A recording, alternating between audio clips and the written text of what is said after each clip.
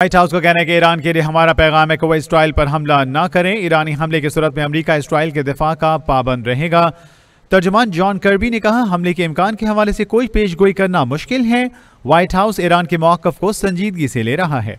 हम समझते हैं कि अभी तक अच्छी पोजीशन में है। जॉन कर्बी ने कहा कि अगर जंग तक नौबत पहुँची तो हम इसराइल के दिफा के लिए तैयार हैं।